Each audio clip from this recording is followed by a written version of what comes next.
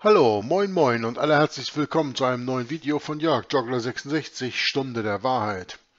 Wir machen heute ohne große Einleitung und ohne viel Vorlesen, was letztes Mal gelesen oder besprochen wurde, weiter in dem wunderbaren Buch von der ehemaligen Nonne Margaret L. Shepard mit dem Titel Enthüllung über die Geheimpriesterbeichte und die Abscheulichkeit der vorgeburtlichen Taufe. Ja, wie gesagt, wir haben da schon eine ganze Menge drin gelesen und im Augenblick sind wir in dem Thema dabei, dass die römisch-katholische Theologie lehrt, dass es 15 verschiedene Arten von Hindernissen gibt, die die Ehe behindern. Und das nächste, mit dem wir uns beschäftigen, ist Ehebruch sanktioniert.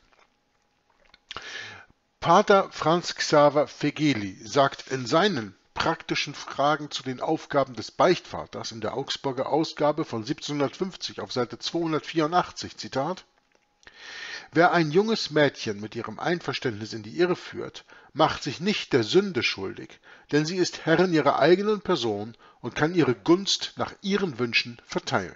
Ende Zitat.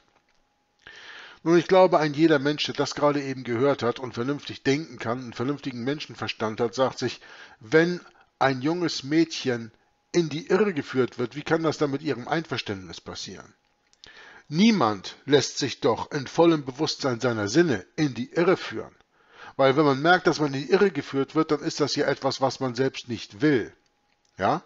Hier wird also wieder ein wunderbares Beispiel von jesuitischer, in diesem Fall auf jeden Fall katholischer, Kasuistik und Sophistik gebraucht. Und ich habe dazu auch eine Bemerkung gemacht in einer Fußnote, die da lautet, hier haben wir ein vorzügliches Beispiel der Rechtfertigung der Pädophilie in der römisch-katholischen Kirche. Denn wir müssen uns ja eins immer vor Augen halten. Diese Ausnahme, die wir hier stehen haben, ja, wer ein junges Mädchen strich einen jungen Jungen oder einen kleinen Jungen mit seinem oder ihrem Einverständnis in die Irre führt, macht sich nicht der Sünde schuldig, denn er, sie, Schrägstrich er, ist Herrin, Herr ihrer eigenen Person oder seiner eigenen Person und kann ihre seine Gunst nach ihren seinen Wünschen verteilen. Jetzt habe ich das mal richtig schön geschlechtsneutral vorgelesen. Ne? Was für ein Blödsinn, ne? immer diese Einteilung. Ne? Es geht hier um Menschen. Es geht hier um Kinder Gottes, die von Teufeln verführt werden. Und sagen wir es mal ganz klar so, wie es ist. Ja? Wir sind alle Kinder Gottes. Einige angenommen von Gott, einige nicht angenommen. Diejenigen, die wiedergeboren sind, sind angenommen und die anderen sind nicht angenommen. Aber wir sind alle Kinder Gottes. Und jeder Priester oder sonst was Mensch macht sich schuldig an einem Verbrechen an einem Kind Gottes, wenn er jemandem etwas zufügt, was gegen den gesunden Menschenverstand, gegen die Gebote und alles geht. Ist doch mal ganz klar. Ich meine, das müssen wir doch mal eben feststellen. Wir sind alle Kinder Gottes. Jeder Mensch, der hier auf dieser Erde rumläuft, ist ein Kind Gottes. Wir kennen doch nicht das Herzen der anderen Menschen. Wir wissen doch nicht, ob die Gott auch akzeptieren oder nicht. Das ist für Gott, um das zu entscheiden. Aber wenn ich mich an einem anderen Menschen vergehe, in welcher Art und Weise auch immer, dann vergehe ich mich immer an einem Kind Gottes. Und es ist nicht, weil wir Menschen noch im zarten Kindesalter sind oder diesem zarten Kindesalter entwachsen sind, dass wir keine Kinder Gottes mehr sind. Wir sind ein Kind Gottes, auch wenn wir 120 Jahre alt werden, sind wir immer noch ein Kind Gottes, ganz egal wie alt wir sind. Wir bleiben Kinder unseres Vaters im Himmel. Ja? Und hier macht sich ein Priester, ne, wer ein junges Mädchen mit Verständnis in die Irre führt, da geht natürlich aus davon, dass es ein Priester ist, weil es sehr praktische Fragen zu den Aufgaben eines Beichtvaters. Also, welcher Beichtvater auch immer ein junges Mädchen, Schrägstrich Jungen, mit ihrem Einverständnis in die Irre führt, macht sich nicht der Sünde schuldig, denn sie ist Herrin ihrer eigenen Person und kann ihre Gunst nach eigenen Wünschen verteilen. Aber er schreibt es doch selber, ein junges Mädchen, und jung ist hier gar nicht mal definiert. Jetzt lass uns doch mal sagen, wir sprechen von einem achtjährigen Jungen. Was weiß der denn schon davon, dass er hier missbraucht wird? Viele haben da doch gar kein Verständnis für. Es gibt ja auch verschiedene Arten der sexuellen Missbrauchs der Kinder. Aber hier wird dem Beichtvater, dem römisch-katholischen Priester, ein Freibrief eingeräumt. Mit ihrem Einverständnis. Der Priester fragt den Jungen, ist das okay, wenn ich dich am Hintern anfasse? Und der Junge denkt sich da nichts bei und sagt vielleicht, ja, weiß das ja nicht. Was danach dann alles noch passiert, da sprechen wir jetzt mal eben besser nicht drüber. Aber genau so passiert das.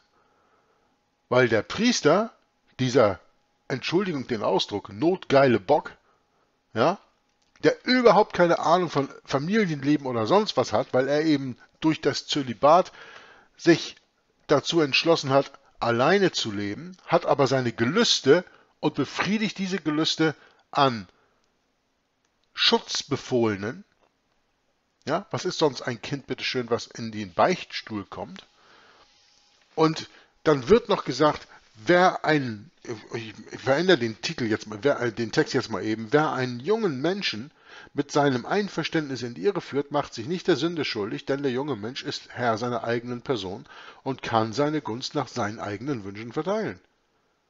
So steht es da ein wenig neutraler geschrieben. Also ich bin da nicht mit einverstanden. Ich weiß ja nicht, wie ihr das seht, aber ich als bibelgläubiger Christ, ich kann da niemals mit einverstanden sein, was hier steht. Das ist reine Kasuistik und Sophistik, um die Verfehlungen der römisch-katholischen Priester, ganz besonders der Beichtväter, gut zu heißen. Pater Escobar Conferius sagt dasselbe in seiner Moraltheologie, die 1655 in Lyon im Folio gedruckt wurde. Und auch Pater Moulet drückt sich in seinem Kompendium der Moral ähnlich aus. Jetzt haben wir also die Aussage der Augsburger Ausgabe 1750 von Fegeli und wir haben die Aussage von Conferius 1655, das ist fast 100 Jahre davor. Im Folio, das ist, ne, damals wurden die, äh, die Dinge oftmals in Folio gedrückt, ihr könnt euch darüber informieren, was das heißt. In die technischen Sachen gehe ich jetzt nicht rein. Ähm, das war halt nicht in Buchform. Und auch Pater Moulet drückt sich so nach seinem Kompendium der Moral ähnlich aus. Jetzt gehen wir mal davon aus, im allergünstigsten Fall, was nicht so ist, aber im allergünstigsten Fall, dass das ab 1655 so war. Ich kann euch sagen, es war viel früher noch, aber gehen wir mal davon aus, vom allergünstigsten Fall, dann sprechen wir da heute von über 350 Jahre, dass das so stattgefunden hat in der römisch-katholischen Kirche. Dass das die römisch-katholische Moral ist im Umgang mit jungen Menschen, die ihr Einverständnis geben zu Dingen, wo sie sich auch überhaupt nicht bewusst von sind, was das überhaupt beinhaltet. Da kommt es drauf hinaus. Letzterer, der Pater Moulet, drückt jedoch noch etwas hinzu, oder fügt jedoch noch etwas hinzu. Zitat. Wer das Mädchen durch Gewalt, Drohung oder List dazu bringt, den Pfad der Tugend zu verlassen, ohne ihr die Ehe versprochen zu haben, ist verpflichtet, das junge Mädchen zu entschädigen und ihr eine Mitgift zu geben, damit sie einen Mann findet, der sie heiratet, wenn er nicht selbst um sie wirbt. Ende Zitat. Der berühmte Escobar sagt, was eine verheiratete Frau durch Ehebruch erlangt, darf sie als wohlverdientes Vermögen betrachten. Nur muss sie ihren Mann an ihrem Gewinn teilhaben lassen. also mit anderen Worten, eine verheiratete Frau kann Unzucht betreiben. Wenn das aber Geld einbringt, dann muss sie das Geld nur mit ihrem Mann teilen und alles ist in Ordnung. Also wenn das keine Sophistik und Kasuistik der zehn Gebote ist, dann weiß ich nicht mehr was. Pater Buni oder Boni, ein bekannter Jesuit, drückt sich in seiner Moraltheologie, gedruckt in Paris 1653, also nochmal zwei Jahre vor dem äh, Conferius aus 1655, drückt sich in seiner Moraltheologie, gedruckt in Paris 1653 auf Seite 77, in Bezug auf die Unkeuschheit folgendermaßen aus. Zitat. Es ist nach allen Beschreibungen von Personen zulässig, zuchtlose Orte zu besuchen, um dort sündige Frauen zu bekehren, obwohl es sehr wahrscheinlich ist, dass man selbst in die Sünde fällt, da man nur zu leicht durch den Anblick und die Zärtlichkeit dieser Frauen verführt werden kann. Dies ist jedoch keine Vergewaltigung, sondern nur Unzucht, da Vergewaltigung Zwang bedeutet. Unzucht hingegen beruht auf gegenseitigem Einvernehmen und dadurch entsteht kein Schaden. Ende Zitat. Entschädigung für Unmoral. Der nächste Punkt. Peter Gordon, ein schottischer Jesuit, schreibt in seiner allgemeinen Moraltheologie, Band 2, Buch 5, Zitat, ein Mädchen, das sich vergnügt, hat das Recht, eine Entlohnung zu erhalten. Nur darf sie den Preis nicht zu hoch ansetzen. Das gleiche gilt für jedes junge Mädchen, die heimlich ihrem Beruf nachgeht. Eine verheiratete Frau hat jedoch nicht den gleichen Anspruch auf Entgelt, da der Gewinn für die Prostitution nicht vorher festgelegt wurde. Ende Zitat. Also nach der Moraltheologie von Pater Gordon darf ein Mädchen sich vergnügen und dafür Geld empfangen, sie darf nur den Preis nicht zu hoch ansetzen. Jedes junge Mädchen, das einem Beruf nachgeht, darf das ebenso. Ja, was ist denn bitteschön mit dem Gebot, du sollst nicht Ehe brechen, so wie es biblisch gemeint und verstanden sein muss? Das wird hier vollkommen auf die Seite gestellt. Aufgrund der Moraltheologie der römisch-katholischen Priester und ganz besonders der Jesuiten, die wir hier lesen. Preise für begangene Sünden sanktioniert von Antichrist-Papst Johannes dem 22. Priester, die sich die Befugnis herausnehmen, mit ihren Verwandten im Konkubinat zu leben, sollen 76 Franken, ein Sou, zahlen. Eine ehebrecherische Frau, die die Absolution anstrebt, um sich der Verfolgung zu entziehen und eine Ausnahmebefreiung zur Fortsetzung ihrer fehlbaren Beziehungen zu erhalten, soll dem Papst 78 Francs, 3 Sous zahlen. In einem ähnlichen Fall soll ein Ehemann die gleiche Steuer auferlegt werden. Wenn sie mit ihren Kindern Inzest begangen haben, sollen sie zusätzlich 6 Francs bezahlen. Jetzt versteht ihr so langsam, weil Papst Johannes der 22. ist, glaube ich, um die Zeit des 14., äh, des 15. Jahrhunderts. Ich kann das ja mal eben nachschauen. Aber ich meine, das war der zur Zeit vom Konzil von Konstant.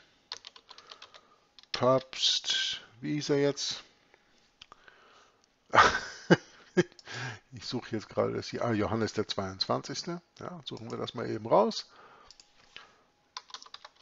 Johannes der 22. Ähm, man nannte ihn den Fuchs von Cahors. Er lebte zwischen 1245 und 1334, also 14. Jahrhundert. Okay. Das war auch übrigens in der Zeit von diesem äh, Schisma, glaube ich, irgendwo, ne? dass äh, sein Pontifikat auch mit anderen äh, Päpsten geteilt wurde, weil Papst oder war es Papst, nee, das war Papst Johannes Paul der 23. Entschuldigung, den wir ja auch in den 60er Jahren zurückkennen. Also hier, dieser Papst lebte im 14. Jahrhundert. Ja, 1245 oder 1249 wurde er geboren und er starb 1334. Also wurde irgendwas von ja, über 80 Jahre auf jeden Fall. Ne? Äh, und er war der erste Papst, der bis zu seinem Tod ausschließlich in Avignon residierte. Also Rom hat er nie gesehen. Aber das ist eine andere römische Geschichte, da könnt ihr euch an einer anderen Stelle darüber informieren. Aber dieser Papst, also 14, 13. Jahrhundert ist er geboren, im 14. Jahrhundert ist er gestorben, der gibt bereits die Aussage, dass Priester, die sich die Befugnis herausnehmen, mit ihren Verwandten im Konkubinat zu leben, 76 Franken ein zuzahlen sollen. Eine ehebrecherische Frau, die die Absolution anstrebt, um sich der Verfolgung zu entziehen und eine Ausnahmebefreiung zur Fortsetzung ihrer fehlbaren Beziehung zu erhalten, soll dem Papst 78 Francs 3 Sous zahlen. In einem ähnlichen Fall soll ein Ehemann die gleiche Steuer auferlegt werden. Wenn sie mit ihren Kindern Inzest begangen haben, sollen sie zusätzlich 6 Francs zahlen. Wisst ihr, was das ist? Das ist die Erklärung dessen, dass wir heute Bußen haben. Also Geldbußen, Strafen.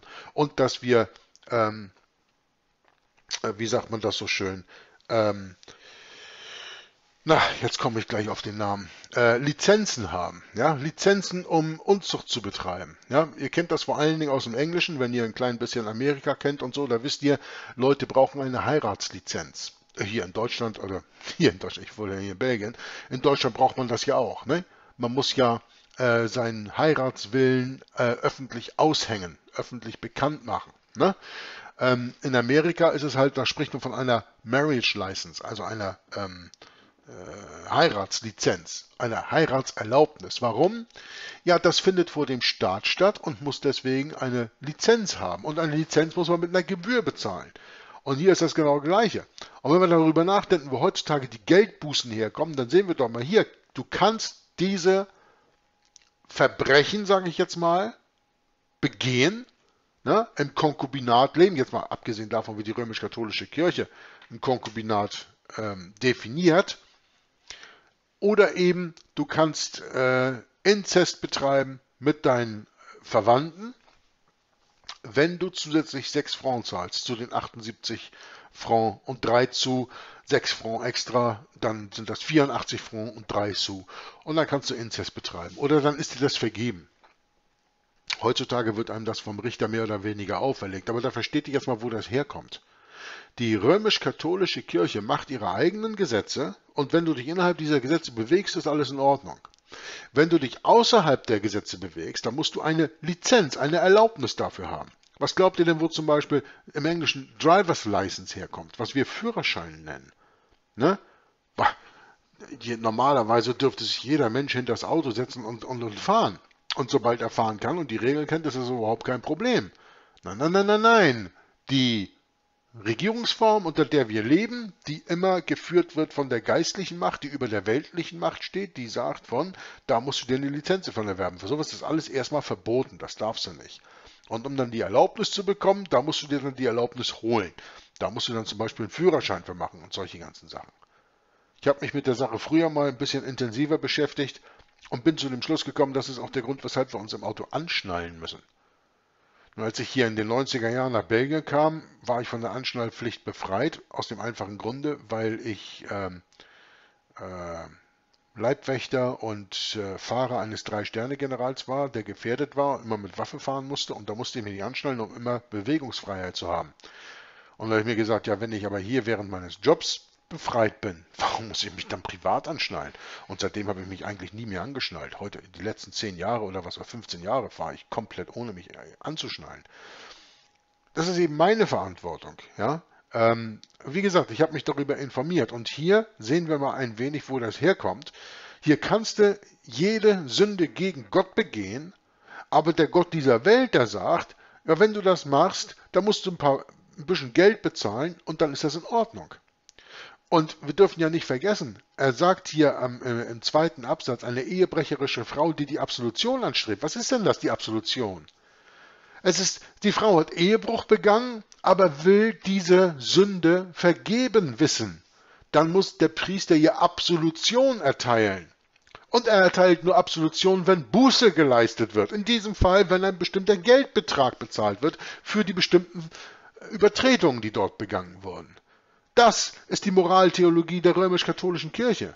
Darum sitzen wir in einem zwischen Anführungszeichen Rechtszeichen, äh, zwischen Anführungszeichen. Darum sitzen wir zwischen Anführungszeichen in einem Rechtssystem, in dem man alles machen kann, wenn man nur genug Geld hat, um sich davon freizukaufen. Habt ihr das noch nicht verstanden? Guckt euch da mal die ganzen Prominenten an, die zum Beispiel vor den Richter geschleppt werden wegen Steuerhinterziehung. Jeder normale Mensch geht dafür 30 Jahre in den Knast, jetzt mal übertrieben gesagt ein wenig. Und die, die leisten eine Zahl, die zahlen das und das zurück, zahlen dann eine ordentliche Strafe obendrauf. Wo sie das Geld hernehmen, wo die Strafe von kommt, das ist vollkommen wurscht.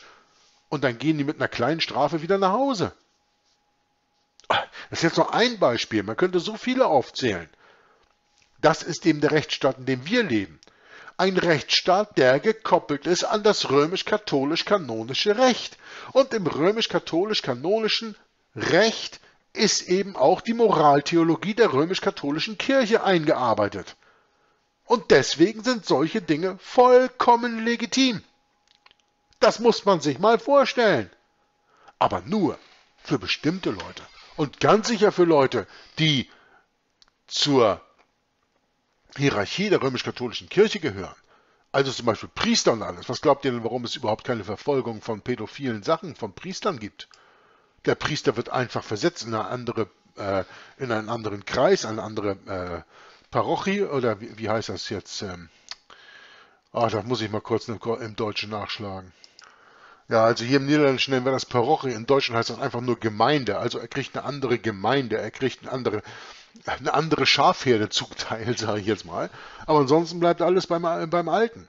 Und wenn mal irgendwo ein besonderes Exempel statuiert werden soll, dann kommt es in die Zeitungen und dann gibt es auch mal hier und da einen Fall, wo einer von der äh, zivilen Regierung dafür abgeurteilt wird, aber verfolgt das mal weiter, was dann wirklich tatsächlich an Urteil kommt und vollstreckt wird, äh, das ist nur zum Heulen. Ne? Also da hält die römisch-katholische Kirche ganz schützend ihre Hand drüber. Und man sieht das ja schon hier. Äh, man kann sich hier selbst von Inzest freikaufen mit 84 Francs und 3 Sous.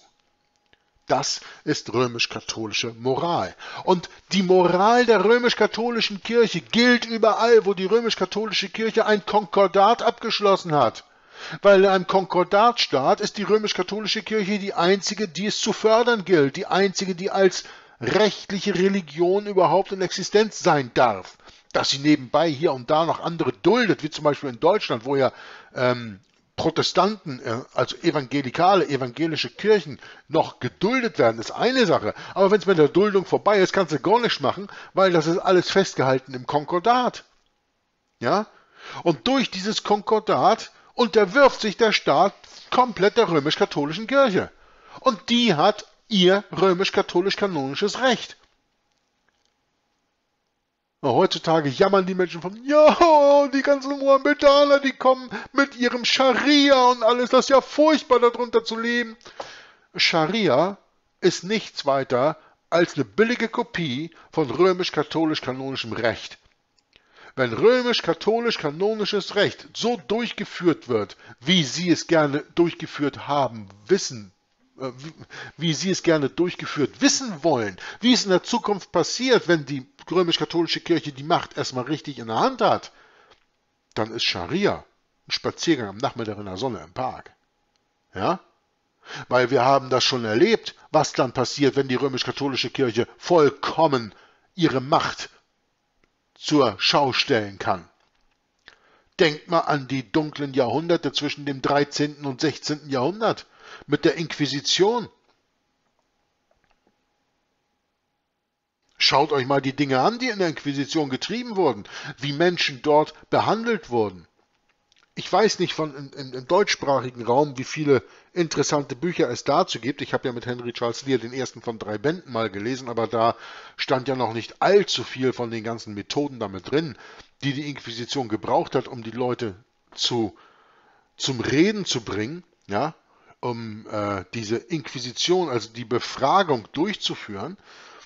Ich weiß nur, es gibt bestimmte Abschnitte in dem Buch Cold Word Babylon Teil 2, ne? uh, The Antichrist is a Woman, Alive and Well Again. Und es gibt bestimmte Teile in den Büchern von der Geschichte des Protestantismus von James Atkin Wiley, vor allen Dingen da, wo er über die Waldenser spricht, äh, da wird einem schlecht, wenn man auf die Seite nur guckt, da muss man das noch gar nicht mal richtig gelesen haben. Wenn man das anfängt zu lesen, dann kann einem nur der, ja, der Appetit vergeht einem sowieso. Weiter gehe ich da jetzt gar nicht mal drauf ein. Also da müssen wir gar nicht groß drüber diskutieren. Wenn die römisch-katholische Kirche losgelassen ist, dann ist sie wie ein reißender Wolf unter kleinen Küken, um euch mal ein kleines bildliches Beispiel geben zu können. Da wird nichts gespart also verschont. Ich wollte jetzt auch gar nicht so viele Kommentare geben. Ich meine, das ist ja hier nicht geplant. Also ich habe das Buch hier voreditiert und das ist die einzige Art und Weise, wie ich es gelesen habe. Richtig mit Verstand lese ich das ja auch hier zum ersten Mal. Ich habe das Kapitel jetzt nicht vorgelesen. Aber ich finde, wenn wir solche Dinge hier lesen, da muss man sich da eben von bewusst sein, das kommt durch die Machtsposition der römisch-katholischen Kirche, die wir alle ihr nur einräumen. Jetzt nicht jeder persönlich von uns, sondern eben das Zusammenleben, das wir Staat nennen. Ist das hier in Belgien Belgien, ist das in Deutschland Deutschland? Die Gemeinschaft der Völker oder die Gemeinschaft der Menschen, die hat nichts dagegen, auf diese Art und Weise missbraucht zu werden. Das ist nun mal so. Wenn es um den Einzelnen geht, dann ist es eine andere Sache, aber das ist doch immer so. Hier in Belgien sagt man so schön, oh, das Pfeffer im Bett. Ja, das ist weit von da, wo ich wohne. Was interessiert mich die Nachricht von da und da? Das ist weit von weg, wo ich wohne. Das betrifft mich ja nicht. Wenn die Leute bei mir auf einmal vor der Haustür stehen, dann betrifft es dich wirklich. Und wie denkst du dann über bestimmte Dinge nach? Wie denkst du darüber nach, wenn die Männer mit den dunklen Hüten auf einmal kommen, dich mitnehmen und langsam anfangen, dir mit bestimmten Geräten jeden Fingernagel einzeln vor sich, von, vorsichtig von der, von der Haut abzuziehen, ohne dir irgendwelche Schmerzmittel zu geben, weil sie eben wollen, dass du bestimmte Dinge aussagst oder nicht aussagst. Oder wenn sie dir kleine Nadeln unter die äh, Fingernägel treiben und dann am Endeffekt die abnehmen und dann die Finger Stück für Stück abschneiden und die abgeschnittenen Stücke in offenes Feuer halten, dass die Blutung aufhört. Ja, jetzt sagt ihr von Jörg, was erzählst du denn da? Das sind ganz normale Foltermethoden aus der Vergangenheit, aus der Zeit der Inquisition und noch viel schlimmer. Dann auf einmal ist das interessant.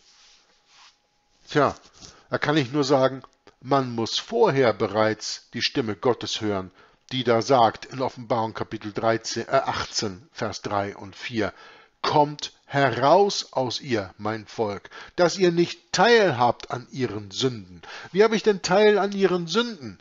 Wenn ich nicht sage und wenn ich am Sonntag in die Kirche gehe und den Eucharisten schlucke und damit das Opferritual, dass Jesus Christus sein erreichtes Werk hier auf dieser Erde vollkommen verneint, wenn ich das alles tue.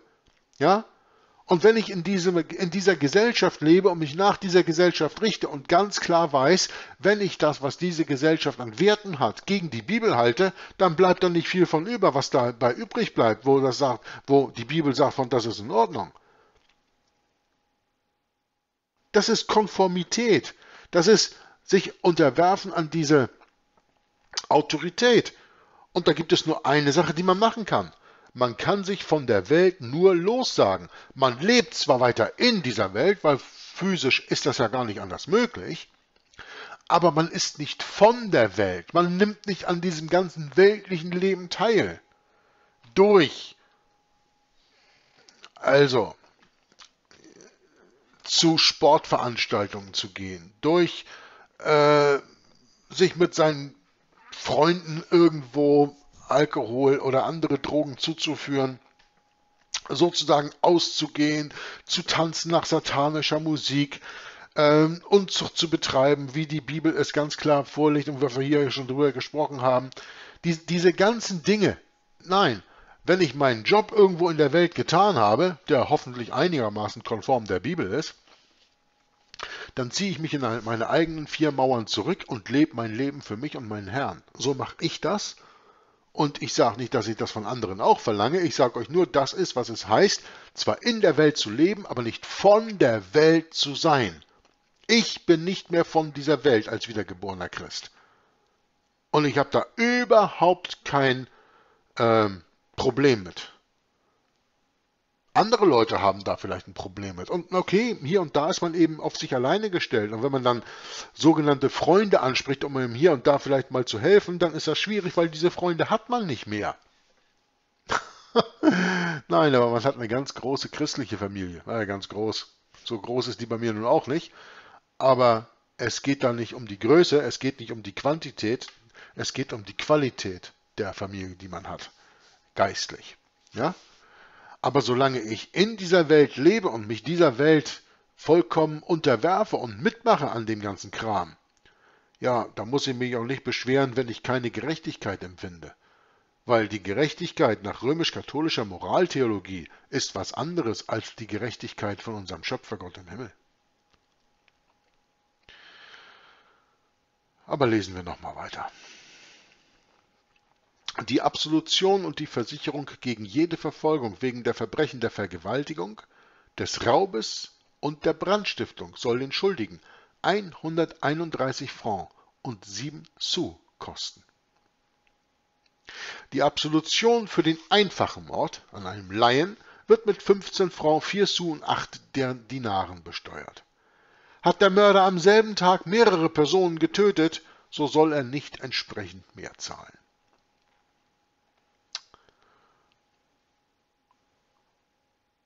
Haben wir da noch was zu sagen? Das sind die Aussagen des Papst Johannes der 22. der sein Leben lang in Südfrankreich gewohnt hat. Der nächste Punkt, der die Ehe verhindert hier, ist Inzest. Von Päpsten in der Vergangenheit wurde Inzest praktiziert. Von Leo dem 13., dem derzeitigen Pontifex, also das ist zu der Zeit, wo die Margaret Shepard das Buch geschrieben hat, 90er Jahre des 19. Jahrhunderts, gegen eine Geldzahlung gebilligt. Zweifellos, konservativ eingestellte Protestanten würden nicht zögern, die Behauptung über Leo XIII., den gegenwärtigen Papst, für falsch zu erklären. Aber es ist meine Absicht, dies zur Zufriedenheit meiner Leser zu beweisen und ein Dementi von jedem römischen Prälaten und Priester herauszufordern, wenn sie denn können.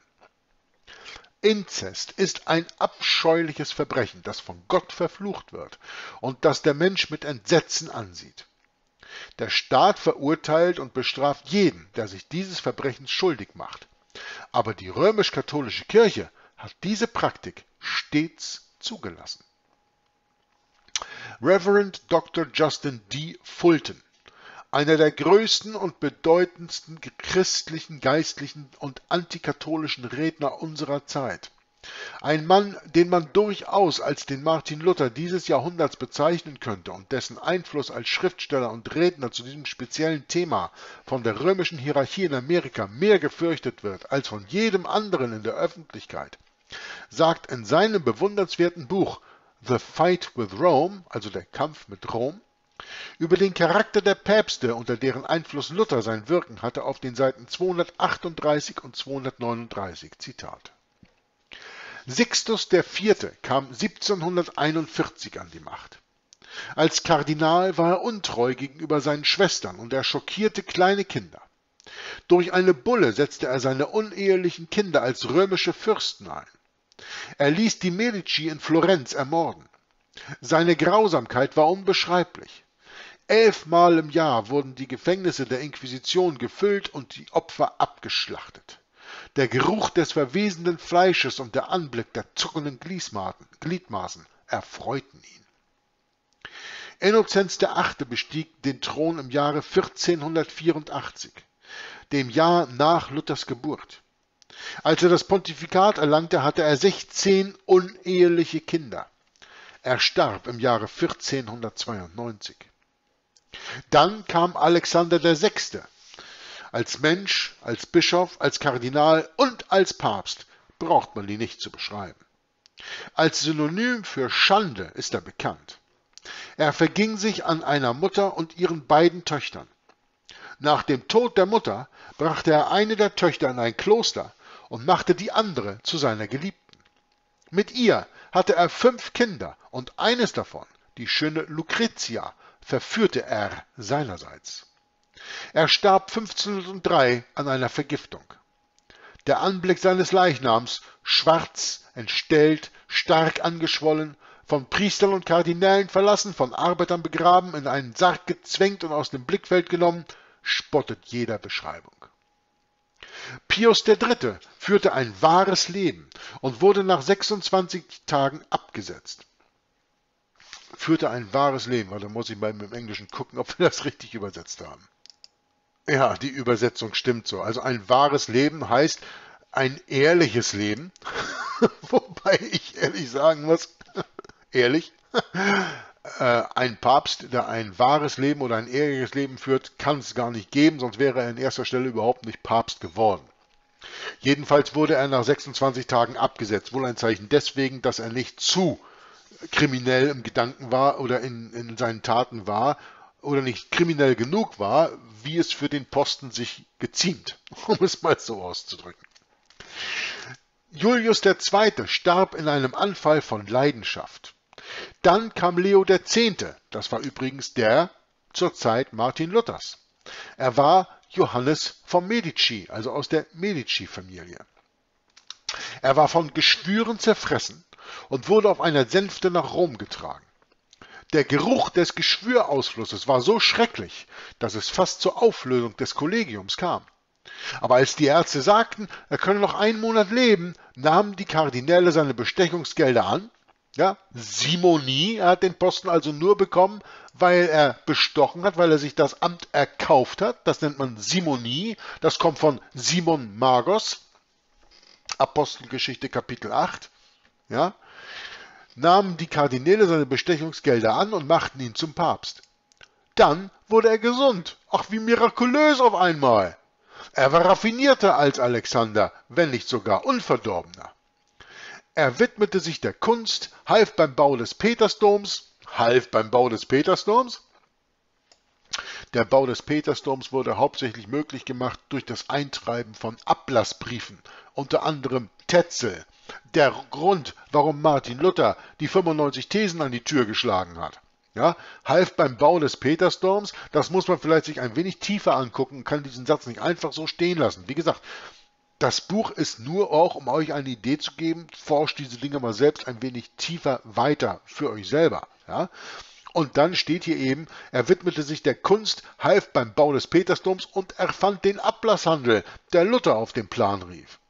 Nach dem Tod seines Bruders und seines Neffen änderte Leo X. den Eifer, der ihn zu Beginn ausgezeichnet hatte. Er gab sich dem Vergnügen der Jagd hin. Er ließ vier Meister der Kunst damit beschäftigen, nie dagewesene Essensgerichte zu erfinden, für die die Gläubigen jährlich sieben Millionen für die Versorgung der Papsttafel zahlten. Er starb am 1. Dezember 1521 im Alter von 44 Jahren, nachdem er fast neun Jahre lang Papst gewesen war. Dann kam Adrian VI. Der versuchte die Kirche zu reformieren, und einst drohte er damit, nach Deutschland zu gehen, die Lehren Luthers zu studieren und, sollte er die Tiara verlieren, sich zum Glauben zu bekehren und mit dem Reformator zusammenzuarbeiten, um das theokratische Gebäude zu stürzen und die Kirche zur Anbetung der wahren Religion Christi zurückzuführen. Ja, wenn man das hier liest, dann kann man ja nur den Schluss ziehen, Adrian IV. ist der John F. Kennedy der römisch-katholischen Kirche, nicht wahr? Weil, was hat John F. Kennedy gemacht? Er hat sich auch gegen die Kirche gewandt. Und eine ganz wichtige Aussage, die, glaube ich, bei Michael in der Sendung niemals, ähm, äh, niemals besprochen wurde, steht hier in Codeword Babylon äh, im Buch 2 als ähm, Zitat von John F. Kennedy. Jetzt muss ich nur mal eben gucken, ob ich das auf die Schnelle finde. Ähm, das ist hier in einem der letzteren Kapitel, hier 45 oder sowas. 46, weil hier bei 45 steht es gar nicht drunter. Ähm, das Zitat von John F. Kennedy, und das war zehn Tage bevor er äh, ermordet wurde, also von daher hat das da nicht direkt was mit zu tun. Ne? Ja, das ist hier jetzt alles über 9-11, das was ich jetzt hier gerade aufmach, aufmache. Äh, hier finde ich das jetzt auch nicht. Ich weiß, dass es hier drin steht, ich habe es ja gelesen, aber in welchem Kapitel, das ist ein bisschen schwierig bei über 70 Kapiteln, das findet man nicht so schnell. Ähm, da stand jedenfalls drin, äh, dass John F. Kennedy gesagt haben soll, zehn Tage bevor er dem Attentat zum Opfer fiel, dass er wüsste, wer die äh, Macht wirklich in Amerika hat und er würde nicht aus dem Amt gehen, ohne darüber seine Mitbürger vorher informiert zu haben. Und zehn Tage später war er dann tot. Äh, wir kennen alle die äh, berühmte Ansage, die er machte gegen die Geheimorganisation, ähm, wo er dann eben auch äh, das von der monolithischen Verschwörung sagte, wo Michael ja auch äh, drauf eingegangen ist und wo ich auch schon verschiedene Mal drauf eingegangen bin. Eine monolithische Verschwörung kann nur auf die Jesuiten weisen. Aber das ist natürlich auch nur etwas, was mehr oder weniger Eingeweihte verstehen, wenn man darüber spricht. Aber wir wissen alle, dass äh, John F. Kennedy verschiedene Dinge getan hat, die dem Papst nicht gefallen haben. Er hat den Greenback wieder eingeführt, also den goldgestützten eigenen Dollar außerhalb des Zentralbankensystems, das von dem Vatikan durch die Rothschilds geführt wurde. Er wollte aus dem Vietnamkrieg aussteigen. Er wollte die Geheimgesellschaften bloßstellen und so weiter und so weiter, was er nicht alles gemacht hatte und das war genug, um ihn zu töten. Und jetzt lesen wir hier auf einmal, Adrian VI. versuchte die Kirche zu reformieren, wie es ja Luther zuvor auch bereits getan hatte, Luther durch rauszugehen und er hier durch die Position des Papstes dann zu haben. Und er drohte damit nach Deutschland zu gehen, die Lehren Luthers, also des Ketzers, zu studieren und sollte er die Tiara, also den Papsttitel, dadurch verlieren, sich zum Glauben zu bekehren, also zum wahren Glauben, zum biblischen Glauben an Yahweh und Jesus Christus, und zwar den einzigen eingeborenen Sohn Jesus Christus der Bibel und nicht den der in der römisch-katholischen Kirche äh, wird, und dann mit dem Reformator Martin Luther zusammenzuarbeiten, um das theokratische Gebäude zu stürzen und die Kirche zur Anbetung der wahren Religion Christi zurückzuführen. Nun, das sind an sich nobel klingende Vornehmen, nur, äh, oder Vorhaben, nur, wenn der Adrian VI. die Bibel gelesen hätte, dann wüsste er, dass die römisch-katholische Kirche, dass der Antichrist erst zerstört wird mit der Wiederkunft Jesu Christi. Davor hat das keinen Zweck. Da kann man nur eben dem, der Stimme Gottes folgen, der da sagt in Offenbarung Kapitel 18, Vers 3 und 4, kommt heraus aus ihr mein Volk, dass ihr nicht teilhabt an ihren Sünden und dass ihr nicht empfangt von ihren Plagen, denn ihre Sünden sind bis in den Himmel gekommen und Gott hat sich ihrer Übertretungen erinnert. Jetzt mal eben so aus dem Gedächtnis das kurz zitiert. Ja? Also man kann die römisch-katholische Kirche gar nicht reformieren. Deswegen finde ich persönlich auch die von der Reformation zu sprechen totalen Quatsch. Es gab nie eine Reformation. Es gab einen Ausstieg oder teilweise einen Ausstieg aus dieser römisch-katholischen Kirche. Das ist das Einzige, was man machen kann. Da rausgehen. Reformieren kann es den Teufel nicht. Der Absatz fährt jedenfalls fort und sagt, kaum war diese Entschlossenheit bekannt, erhob sich ein Konzert von Flüchen gegen ihn und es wurde ein Versuch nach dem anderen unternommen, ihn zu ermorden. Und da werden sie dann wahrscheinlich auch äh, das geschafft haben. Wir können uns ja mal kurz Adrian der Sechste hier im äh, Internet anschauen. Ich kann aber eben das in die Suchmaschine eingeben. Ist ja manchmal interessant, solche Dinge auch mal live zu machen. Adrian VI. Wikipedia war bis zur mit bürgerlichen Namen äh, Floris Sohn.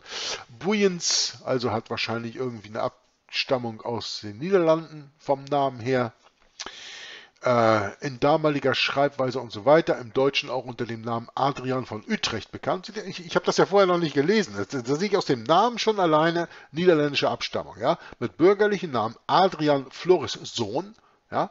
äh, F-L-O-R-I-S-Z-O-O-N, Sohn, das ist Sohn in Fle äh, Niederländisch, äh, Sohn, äh, Buyens, B-O-E Y-E-N-S. Das ist Buyens, spricht man das aus. Das ist ein niederländischer Name, das erkenne ich sofort. Ähm, in damaliger Schreibweise halt im Deutschen auch unter dem Namen Adrian von Utrecht bekannt. Geboren 1459 in Utrecht und gestorben 1523 in Rom. War vom 9. Januar 1522 bis zu seinem Tode Papst der römisch-katholischen Kirche. Das heißt 9. Januar 1522 bis 14. September 1523. Das ist ein Jahr und acht Monate. Gut, neun Monate höchstens. Ja? Und ähm, kirchliche und politische Karriere, naja, da könnte man jetzt in die Dinge reingehen, dann geht es über das Pontifikat. Am 9. Januar 1522 nach dem Tod von Papst Leo X., wo wir ja gerade darüber gesprochen hatten, zu dessen Nachfolger gewählt, äh, wurde Hadrian zu dessen Nachfolger gewählt, nachdem die Wahl des erklärten Frankreich-Gegners Kardinal China am Widerstand der französischen Kardinäle gescheitert war und so weiter und so weiter. Äh, und dann drei Kardinäle überbrachten ihm, der nicht am Konklave teilgenommen hatte, die Nachricht von seiner Wahl, die er am 8. März 1522 annahm. Nachdem er am 25. August 1522 in Civitavecchia an Land gegangen war, fand seine Krönung am 31. August 1522 statt. Kardinal Marco Cornaro als amtierender Kardinal Protodiakon, setzte ihm die Tiare auf. Als Papstnamen erhielt er sein, äh, behielt er seinen Taufnamen bei, das tat nach ihm lediglich noch Papst Marcellus II. Durch sein Bestreben, von der verschwenderischen Hoch Hofhaltung der Renaissance-Päpste Abstand zu nehmen, rief Hadrian schon bald die Kritik und den Widerstand der von den früheren Verhältnissen begünstigten Kleriker und Künstler hervor. Unbestritten, aber für seine Gegner auch provozierend waren sein persönlicher, integrer Lebenswandel, seine tiefe Gelehrsamkeit, und seine Frömmigkeit. Und dann geht es noch weiter. Aber ich werde euch den Link hier mit in die Beschreibung des Videos äh, reintun, dann könnt ihr über diesen Papst weiter selbst lesen. Also das finde ich einen der interessantesten Absätze, die ich bis jetzt in diesem ganzen Buch gelesen habe. Ich, ich habe es damals ja, als ich es editiert habe, auch gelesen, aber habe mich da nicht so drauf gestürzt wie jetzt hier. Ähm, wenn man diese ganzen Verfehlungen der Päpste sieht, die sie alle natürlich mit ihrer ähm, Moraltheologie rechtfertigen können, weil es gab ja nicht nur Morallehre ab der Zeit der Jesuiten Mitte des 16. Jahrhunderts, es gab ja vorher auch schon welche. Ähm, dann äh, ist dieser Hadrian VI. ja wirklich ein Lichtblick darin. Ja, Gott hat seine Hand und seine Menschen eben überall. Und selbst wenn einer dieser Menschen es mal auf den Papstthron geschafft hat, auf welche Art und Weise auch immer, da kann er gar nicht vollkommen ähm, Recht, sage ich jetzt mal, überall gehandelt haben, um diesen Platz zu bekommen. Aber er hat ihn bekommen, schlussendlich. Aber sobald er dann seine Pläne bekannt machte, dass er für eine Reformation in der Kirche sorgen wollte, wurde ein Versuch nach dem anderen unternommen, ihn zu ermorden. Da könnt ihr ja mal selbst nachforschen, wie das dann nachher stattgefunden hat.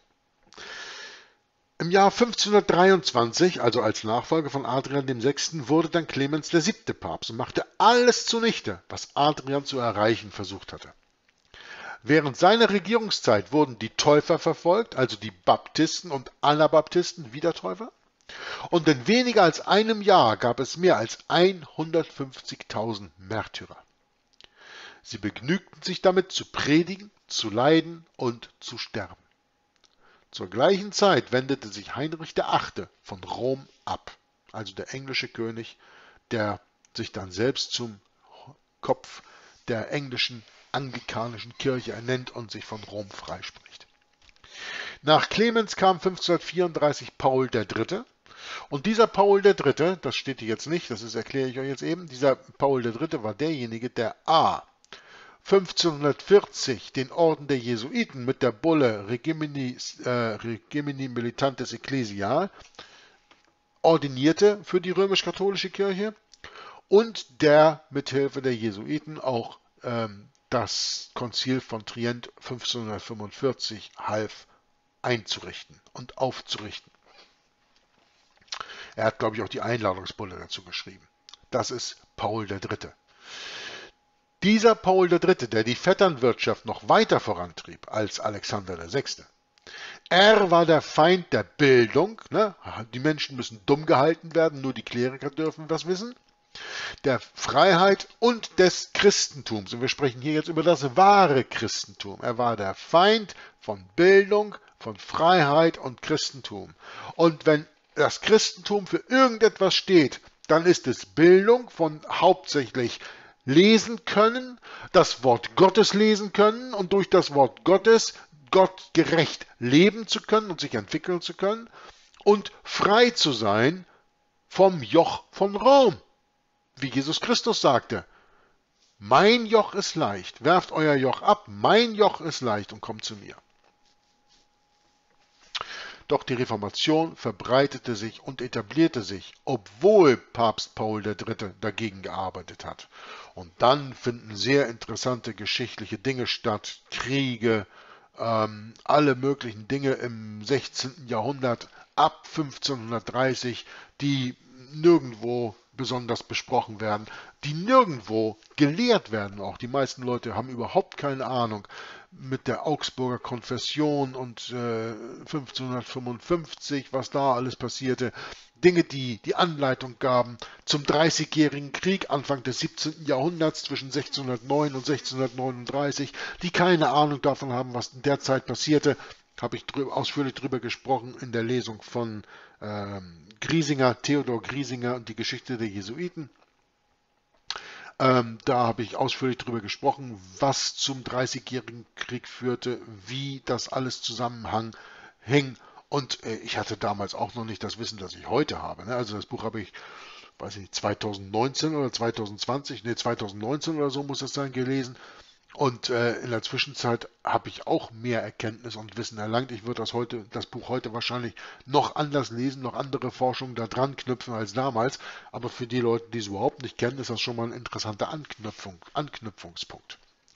Also dieser äh, Paul III., der 1534 kam, war der Feind der Bildung, der Freiheit und des wahren Christentums. Doch die Reformation verbreitete und etablierte sich. Es ist unmöglich, die Grausamkeiten Roms aufzuzählen. Ihre Geschichte spiegelt sich im Blutbad auf dem, und auf dem Schlachtfeld wider, in den Seufzern der leidenden Unschuld. Ihr Weg ist durch das Blut von mehr als 50 Millionen der edelsten und besten Menschen der Erde gezeichnet. Über das Grab der Waldenser und Albigenser, der Baptisten und Verehrer des Wortes Gottes warf der Bischofsstab seinen Schatten, als Luther hervortrat, um Christus und seine Kreuzigung zu predigen. In der Bibel las, machte sich der Sünde schuldig. Wer eine Bibel aufbewahrte, machte sich seines Todes schuldig. Lucrezia Borgia die eigene Tochter des Papstes Alexander VI. leitete die kirchlichen Angelegenheiten und die Kardinalsversammlungen in der Tracht einer Bakante, mit nacktem Busen und einem von einem Musselinmantel bedeckten Körper. In diesem Zustand dachte sie über Fragen der Zügellosigkeit nach und half dabei, im Einklang mit den geschriebenen Gesetzen zu regieren. 50.000 Prostituierte und sie selbst erhielten so unanständige Streicheleinheiten, so dass Burkhardt ausrief, Horror, Niederträchtigkeit, Schande! Das, meine Lieben, das ist der Vatikan. Man stelle sich den Zustand der Dinge vor, wenn Bischöfe und Priester sich jeder Form des Genusses hingeben. Inmitten aus diesem Saustall erhob sich Luther, der doch gesagt hatte, als er nach Rom ging, wenn es eine Hölle gibt, dann ist Rom darauf erbaut. Er hat's gesehen, er war da. Tausende Prostituierte, die sich den Priestern hingegeben haben. Ja, sagst du. Aber das ist nicht Leo der 13. Sage mir, was er getan hat. Jeder wird mit mir anerkennen, dass die Ehe zwischen einem Onkel und einer Nichte unter die Sünde des Inzestes fällt. Und wenn in einer Gemeinde bekannt würde, dass ein protestantischer Geistlicher Kenntnis von einer solchen Beziehung zwischen einem Paar hat, das heiraten will, würde er aus dem Dienst entlassen und zum Gespött der Gemeinde werden, wenn er sich vorsätzlich an der Sünde beteiligt, indem er sie in den Bund der Ehe einbindet. Die Presse würde ihn richtigerweise verurteilen. Doch im Jahr 1889 verliebte sich Prinz Amedeo von Spanien in seine eigene Nichte und wollte sie heiraten. Da er wusste, dass der Staat eine solche inzestuöse Ehe verbot, wandte er sich an Leo XIII., der ihm gegen eine Zahlung von 20.000 Dollar, die der Prinz in die Kirchenkanzlei einzahlte, die Ausnahmebewilligung erteilte, das Objekt seiner unnatürlichen Neigung zu heiraten. Diese Tatsache ist bekannt und liegt erst zum Schreiben dieses Buches, zum Zeitpunkt des Schreibens dieses Buches, sechs Jahre zurück. Es wurde kein Einspruch erhoben. Die Presse hat das schamlose Verbrechen nicht kommentiert und das blasphemischste Merkmal dieser Ausnahmebewilligung ist, dass der Papst behauptete, es im Namen und in der Autorität unseres Herrn und Erlösers Jesus Christus zuzulassen, dessen Stellvertreter er sich selbst nennt. Wenn Inzest eine von Gott verurteilte und verfluchte Sünde ist, macht die Zahlung von 20.000 Dollar an den gegenwärtigen Papst von Rom ihn nicht weniger zur Sünde.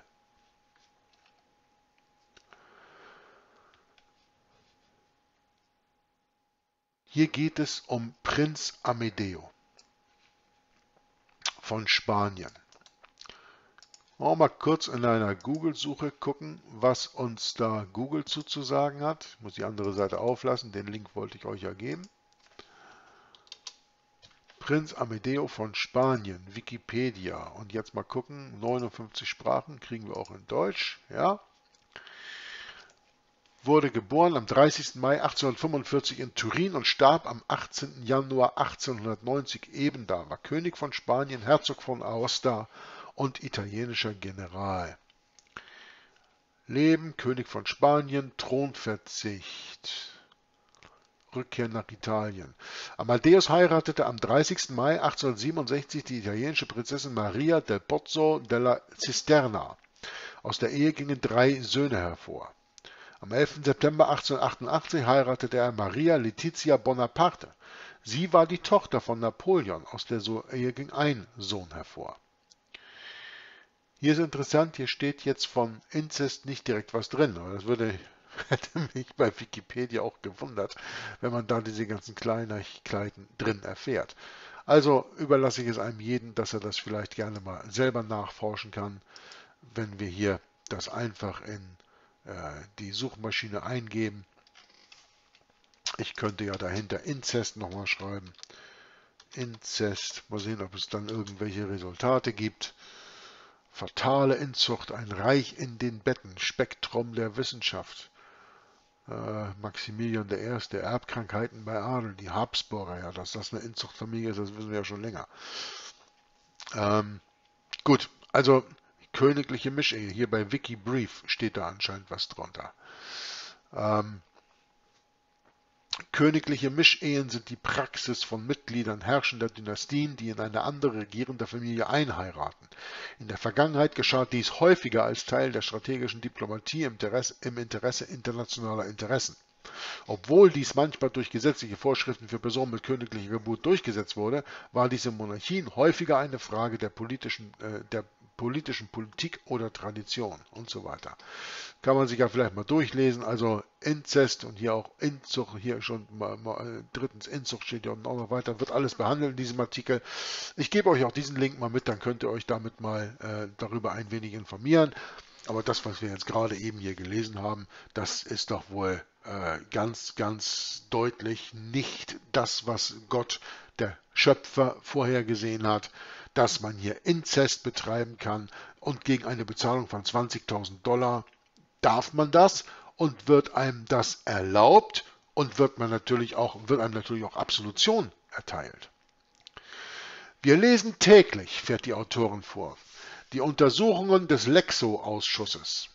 Und die, die, Untersuchung des Lexo-Ausschusses, da habe ich jetzt einen äh, Link zugefügt, äh, auch zu äh, da steht drin, das Lexo-Komitee, das zwischen 1894 und 95 tagte, war eine wichtige Untersuchung des New Yorker Senats zur Korruption der Polizei in New York. Die Untersuchung des Lexo-Komitees, die ihren Namen vom Vorsitzenden des Komitees erhielt, war die umfassendste von mehreren solchen Kommissionen, die im 19. Jahrhundert eingesetzt wurden. Das während seiner Anhörung gesammelte Zeugnis umfasste mehr als 10.000 Seiten und der daraus resultierende Skandal spielte eine wichtige Rolle bei der Niederlage von Tammany Hall bei den Wahlen von 1894 und der Wahl der Reformverwaltung von Bürgermeister Strong. Die Untersuchungen wurden auf Druck von Charles Henry Parkhurst eingeleitet. Und ähm, da könnt ihr euch dann gerne drüber informieren. Der Link steht im Buch unten auf Seite 36. Aber um eben mit dem Text weiterzugehen, weil wir sind ja beinahe zum Ende gekommen, wir lesen täglich die Untersuchungen des Lexo-Ausschusses und die öffentliche Meinung ist angesichts des Ausmaßes an Korruption, Erpressung, Betrug und Schurkerei der Männer, die geschworen hatten, die Interessen von Recht und Ordnung zu schützen, fast gelähmt. Ja, die haben noch nie davon gehört, dass diese Leute geistige äh, Vorbehalte einrufen. Ne?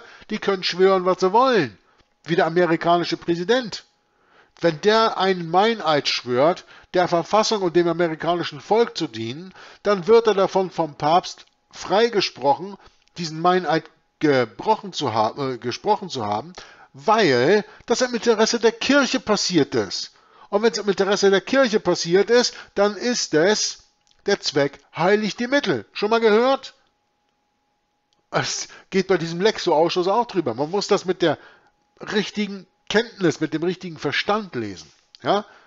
Wir lesen täglich die Untersuchungen des Lexo-Ausschusses und die öffentliche Meinung ist angesichts des Ausmaßes an Korruption, Erpressung, Betrug und Schurkerei der Männer, die geschworen hatten, die Interessen von Recht und Ordnung zu schützen, davon ist die öffentliche Meinung fast gelähmt.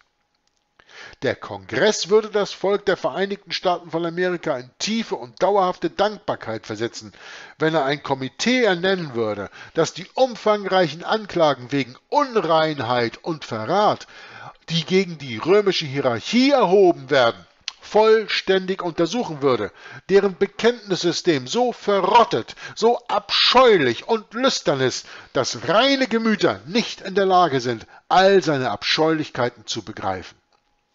Und dieses System wird, wenn man es wachsen und gedeihen lässt, unsere öffentlichen Institutionen zerstören, den Kindern, die in der Pfarrschule erzogen werden, Verrat einflößen, die soziale Reinheit demoralisieren, unsere geöffnete Bibel verbrennen, unsere Staatskasse berauben und menschliche Fackeln an den Ufern unserer Flüsse und auf unsere öffentlichen Plätzen anzünden. Damit endet die Lesung für heute. Und das war eine kräftige, wahre und heute im Jahre 2024 immer noch und in zehn Jahren immer noch gültige Aussage der reformierten Schwester Margaret L. Shepard in diesem wundervollen Buch, das sie hier Ende des 19. Jahrhunderts geschrieben hat. Enthüllung über die Priesterbeichte und Abscheulichkeit der vorgeburtlichen Taufe wo wir jetzt wirklich an das Eingemachte in der römisch-katholischen Kirche kommen. Ich danke euch fürs Zuhören und Zuschauen und ich hoffe, ihr habt Erkenntnis gewonnen. Und wenn nicht, dann lest das Buch selbst und macht eure eigene Nachforschung in der Richtung und vergesst niemals an erster Stelle eure Bibel zu lesen weil das ist der Maßstab, an dem alles in dieser Welt gemessen werden muss. Und wenn ihr den nicht kennt, dann fallt ihr in dieselben Fallen, dann fallt ihr in dieselben Abscheulichkeiten wie die Welt. Und davor möchten der Herr, unser Schöpfer und Jesus Christus und auch ich durch dieses Vorlesen bewahren. Also bitte, lest eure Bibel. Shalom. Maranatha.